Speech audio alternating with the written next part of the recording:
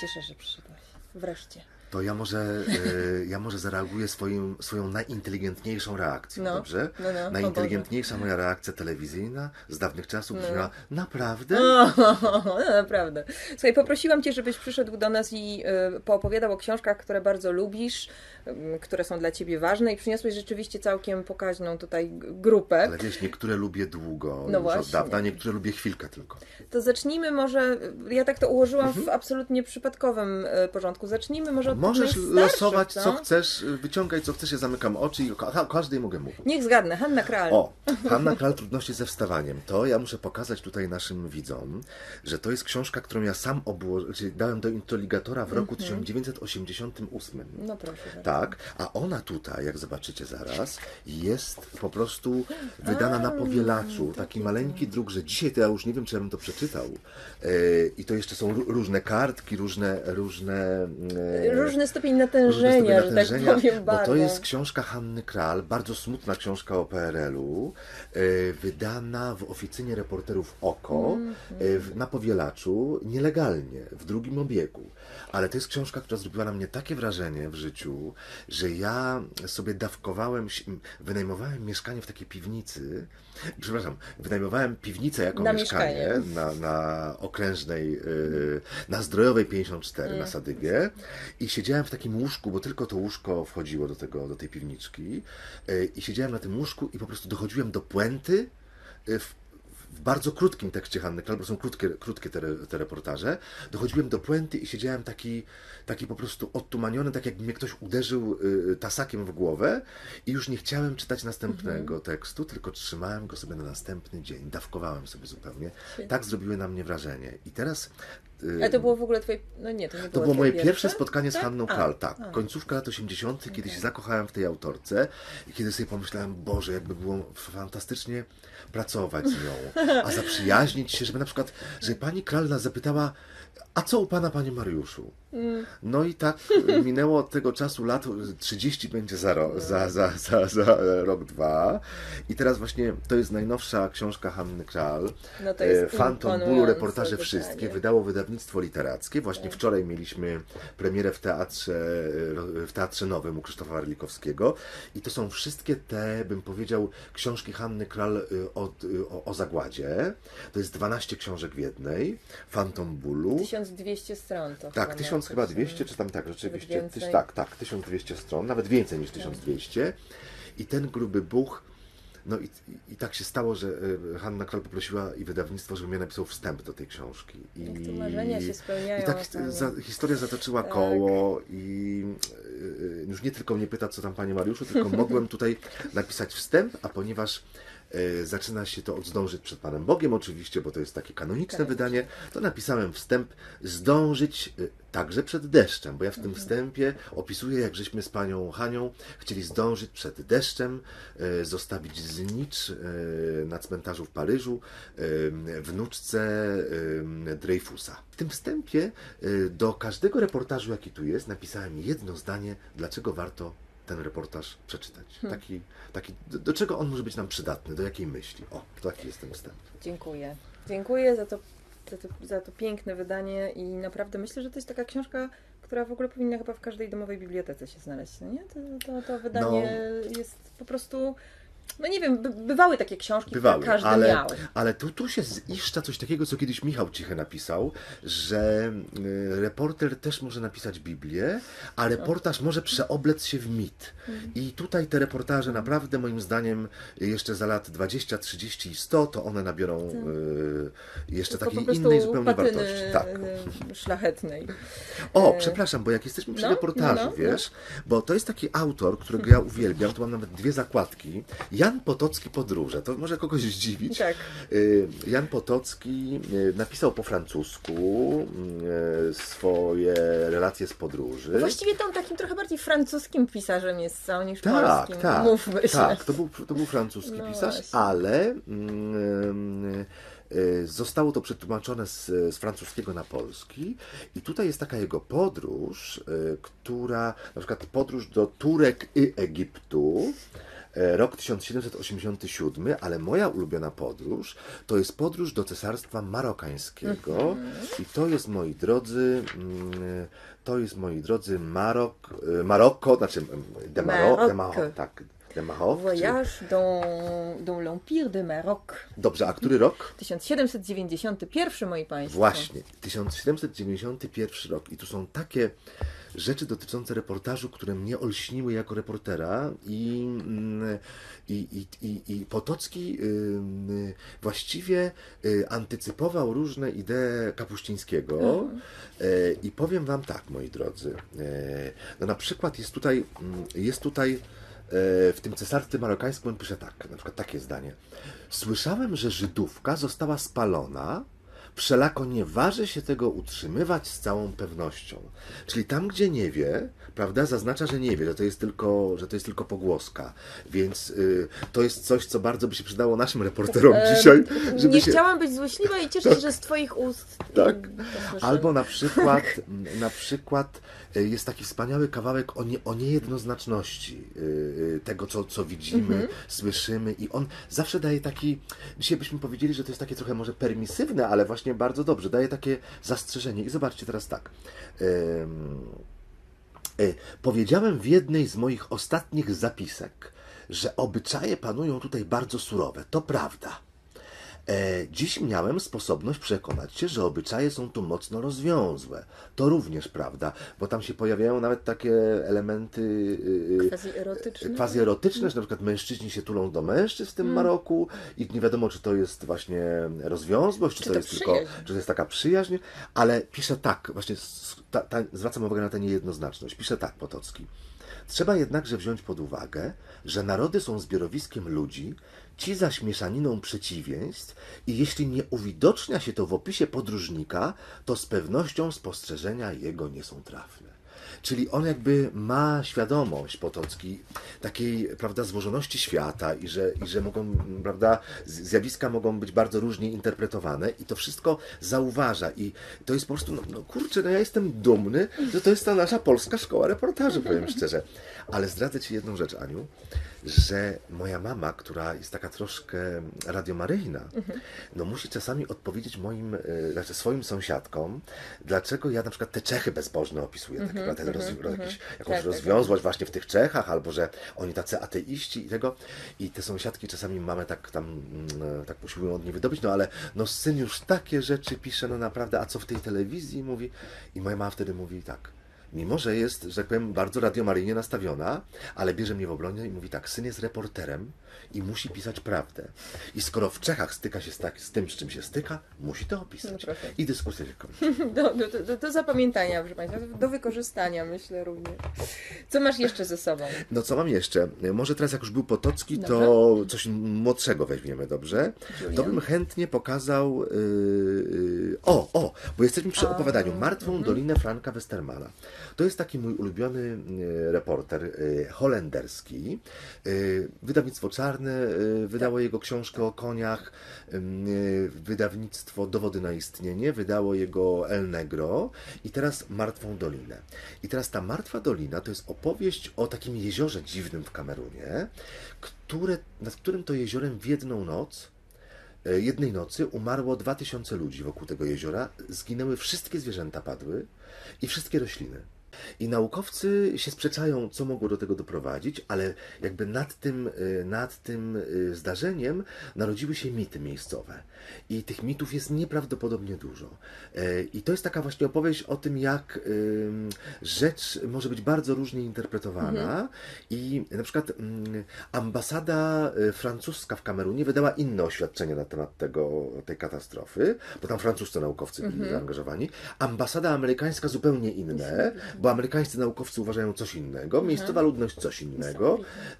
I y, Frank Westerman był na spotkaniu, byłem na spotkaniu z nim w ambasadzie Holandii i powiedział taką bardzo ciekawą rzecz, którą ja zapamiętuję jako reporter, że mówi się, że fakty mówią same za siebie, prawda? A on stwierdził tak, fakty, choćbyśmy je przypiekali ogniem, nigdy nic same za siebie nie powiedzą. Wszystko jest No, kwestią interpretacji. Oczywiście, oczywiście. I to, no ale w ogóle to się czyta jak taki, to jest trochę, trochę horror, trochę kryminał, No tak, jest- a trochę tych, których interesuje katastrofa smoleńska nasza i jakby taka analiza Spiskowych teorii, spiskowej powstają, teorii, tak? czy taka antropologia wokół tego, to okazuje się, że Kamerun i ta historia jest bardzo bliska naszej smoleńskiej mgle. Zresztą Państwo widzą, to jest to jezioro w Kamerunie też mgły się unoszą. No, to jest naprawdę intrygująca No pozycja, jest, totalnie. jest. To wiesz co, skoro tak już yy, Przy o tych dowodach na istnienie? nowych rzeczach z dowodów, to, to powiedzmy jeszcze o tych książkach. Tak, no to y, Józef Szkworecki, Przypadki inżyniera ludzkich dusz. O, e, Mariusz po prostu nosi książki w takiej folii, żeby się nie zniszczyły. Nie, nie, nie, tak została wydana. Nie, została tak wydana, ja powiem dlaczego. Dlatego, że nasze wydawnictwo wydaje tę serię czeską Stechlik, Stechlik to po czesku szczygieł, z takimi okładeczkami. Tu są grafiki Katarzyny Sidonowej, czeskiej No, graficzki. Świetne są. A tutaj są te małe okładeczki, Tak. gdzie ja piszę, o czym jest ta książka, co należy o niej myśleć. I niestety, Fakty jak, jak wydamy grubą książkę, to w hurtowniach ona, po, jak na przykład nam zwracają kilka egzemplarzy, ona się niszczy. I ba, baliśmy się, że No tak. y, y, no, trzeba ją foliować było. Więc to jest Szkworecki Przypadki Inżyniera Ludzkich Dusz i to jest drugie wydanie tej książki w Polsce. Szkworecki dostał za to Angelusa y, w 2000 zdaje się 11 Mhm. chyba, tak, dostał Angelusa Y, i y, to jest, no mówi się, że naj, najlepsza, największa powieść czeska, w sensie, że najbardziej światowa jakby. Julianna Jonek, nasza szefowa naszego wydawnictwa, powiedziała: Słuchaj, to jest powieść tak złożona, tak wielowątkowa, bo akcja się dzieje i za okupacji w protektoracie, i w Czechosłowacji przedwojennej, i w Czechosłowacji komunistycznej, i potem w Ameryce, znaczy w Kanadzie, kiedy Szkworecki tam wyjeżdża e, i wykłada literaturę e, światową na Uniwersytecie Kanadyjskim, a jednocześnie usiłuje coś studentom e, kanadyjskim powiedzieć o komunizmie i oni nic. W ogóle przyjmują to jak jakiś taki komiks, a nie jako prawdę. I Julia mówi, słuchaj, to jest tak e, wielowątkowa powieść, dlatego się uważa, że to jest powieść taka światowa, bo no, ona jest jak rozmowa w katedrze Josy po prostu. Tam jest wszystko w niej. I Julia mówi, a napisz tu czytelnikowi w jednym zdaniu, o czym jest ta powieść. I wiesz, że ja napisałem w jednym zdaniu? Zobacz. Pisało się o tej książce jako o światowej powieści Czeskiej, a mówi ona o tym i tu jest ode mnie, że Że głupio jest wszędzie. To jest powieść o tym, że głupio jest wszędzie. To jest Skworecki, wydany niedawno, a w tej serii mm, jakiś czas temu wyszła bajka e, o Raszce, Oty Pawla, no bo Ota Paweł to właśnie jeden z moich ukochanych autorów czeskich i znana jest jego Śmierć Pięknych Saren, to jest kultowa książka, ale bajka o Raszce to są jego reportaże w formie bajek o sportowcach. To już w ogóle... To bardzo ciekawe. Tak. Y, Pisał to w szpitalu psychiatrycznym, bo dzięki jego chorobie, dlatego że zachorował, mamy tę literaturę o ty Pawla, bo być może zostałby tylko przy dziennikarstwie sportowym, a choroba sprawiła, że to wszystko, co pisał o sporcie, ale nie tylko o sporcie, bo i o swojej rodzinie, dostało takiej nadwyżki, jakby taką, prawda? Nadbudowy, Nadbudowy. I tutaj. I tutaj jest y, na przykład bajka o Raszce. Raszka to jest Raśka, Jiří Raśka, dokładnie by się powiedziało po czesku. Mm, To jest najsłynniejszy skoczek narciarski, który zdobył złoto w Grenoble i Ota Paweł mu poświęcił trzy lata, żeby zdokumentować jego życie. I tak, zdokumentował jego życie tak jak reporter dokumentuje, czyli dowiedział się wszystkiego, zanotował, spotkał się z nim, z rodziną, z jego trenerami, z jego y, konkurentami, po czym napisał to w formie bajki. Czyli y, fakty zaprząg do bajki i to jest po prostu, no to jest niezwykła po prostu rzecz. Jestem szczęśliwy, że to ukradłem innemu wydawnictwu. Przepłaciliśmy agencję czeską Dilia, żeby to wydać. Czy ty jesteś z tych ludzi, którzy nie pozwalają dotykać y, twoich własnych książek w twojej własnej bibliotece?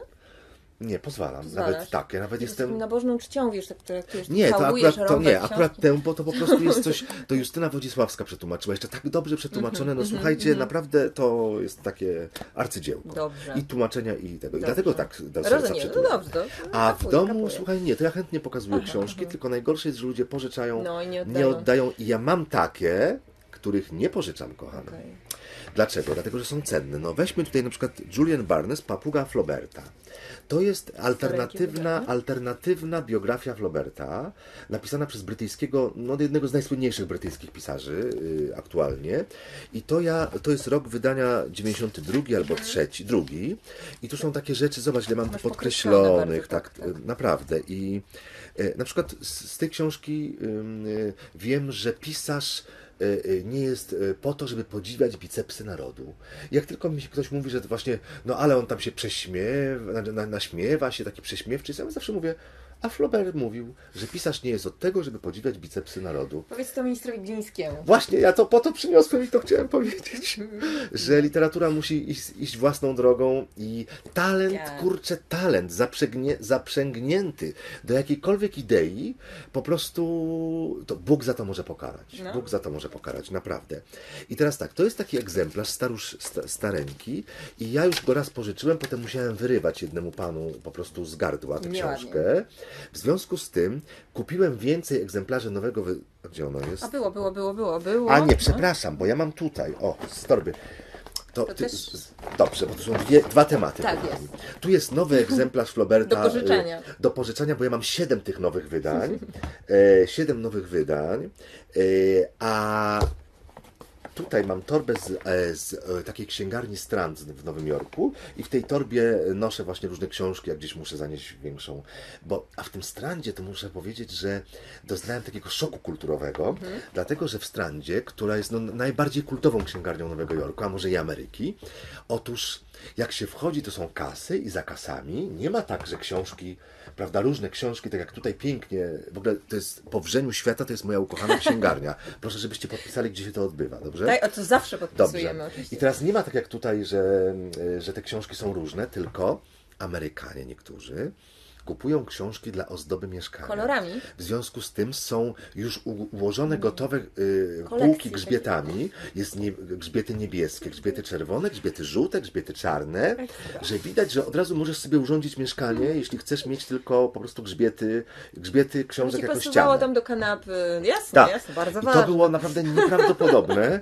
I, y, y, no Widziałam i po, a potem już oczywiście są bardzo różne działy, y, z tym, że no, też można sobie w strandzie kupić książki, nie przeglądając ich tylko kolorami, hurtowo. Bierzemy żółte. No i słuchajcie, a muszę się pochwalić jedną rzeczą, że No, no. y, ten y, Julian Barnes, który, y, który no, jest takim moim ulubionym pisarzem brytyjskim, druga jego moja ukochana książka po papudze Flauberta to jest Arthur and George, taka.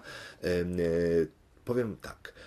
No, myślałem, że umrę, bo kilka lat temu, jak moja książka wyszła po angielsku, Gotland wyszedł po angielsku, tłumaczka moja Antonia Lloyd-Jones przysyła mi maila i mówi: Zobacz dzisiaj Guardian. I się okazało, że Julian Barnes napisał, że Gotland jest dla niego książką roku w, e, w Guardianie. Ja po prostu, słuchajcie, nie wiedziałem, co mam zrobić. Włosy mi stanęły dęba.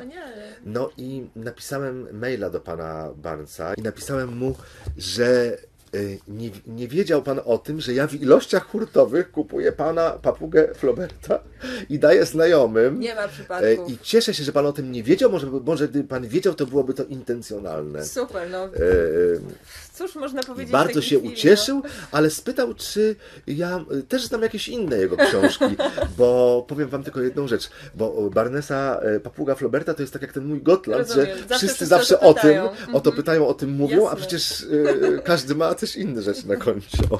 Dobre, dobre. Słuchaj, i masz jeszcze tutaj dwie książki. Jedną. Dwie te same. Dwie te same. Proszę bardzo. Bo chciałem powiedzieć, że no, ja jestem takim właśnie dziwnym czytelnikiem, że jak jakaś, w jakiejś książce się za- zakochuję, albo ona jest moją książką życia, to mam więcej egzemplarzy na wszelki wypadek, ale nie, na przykład Alchemię słowa e, Parandowskiego mam, dlatego to mam cztery egzemplarze, bo y, w każdym pokoju mam, w sypialni mam, w salonie mam i w y, gabinecie mam. E, Hmm? I tylko w łazience nie mam, dlatego że boję się, że pleśnią jakaś. Mhm. y, Za- y, zaszłaby. Tak, znaczy, no, Wiadomo, wilgoć. Dlaczego? Dlatego, że to jest No, no. alchemia słowa Parandowskiego, to jest po prostu, to jest taka moja Biblia, jeśli chodzi o mm, opisanie, o podejście do słowa. To jest pisarz w Polsce dzisiaj już zapomniany No i tak, trochę tak, tak, passé. Y, To jest książka, którą on pisał przed wojną, skończył po wojnie w latach 50. I to jest, no zobacz, jakie tam są rozdziały. Jakie tam są rozdziały. mm, Pracownia. E, powołanie, życie, Powołanie, natchnienie, tak. praca, słowo, tajemnica rzemiosła, tworzywo literackie, w laboratoriach literatury, styl od pierwszej do ostatniej myśli, ukryty sojusznik, sława i nieśmiertelność. No tak. no Naprawdę to jest wszystko, co trzeba. To... O, o, mój ukochany. No w ogóle po co w ogóle jest literatura? Mm. Mogę mówić, po co jest literatura, ale słowami Parandowskiego.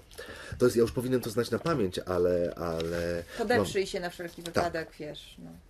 Umysł ludzki, pisze Parandowski, doznaje wielkiej rozkoszy, gdy rzeczy, na które się patrzy na co dzień, ukazują się w nowym, nieznanym kształcie, tak jak się ich nigdy dotąd nie widziało. Słowo obnażające lub trawestujące rzeczywistość zachwyca nie inaczej jak nieuchwytne gesty magika, który z pustego kapelusza wypuszcza gołębia. No i e, e, to jest po prostu ta rozkosz umysłu, że ktoś e, widział to samo co my, a kurczę, nazwał to inaczej, nie? E, To jest to, co ja miałem. Ty lu- lubisz e, Jelinek? Tak. Ja mam amatorki. O, amatorki Jelinek to już nie przyniosłem, ale to jest jeszcze jedna e, taka książka, która, e, wiesz, jak Jelinek patrzy na życie rodzinne, na takie, ale życie rodzinne takie toksyczne, prawda? Totalnie. I potrafi to wszystko inaczej nazwać. I na przykład y, patrzy na kobietę z perspektywy jej męża i mówi, że on ma w domu, pozyskał do domu trzy sprzęty domowe. Y, Nie pamiętam, jak miała na imię bohaterka, Ja powiedzmy, że miała na imię, prawda, jakie imię niemieckie? Helga, No, być, prawda? Że pozyskał do domu trzy sprzęty domowe, pralkę, lodówkę i Helgę.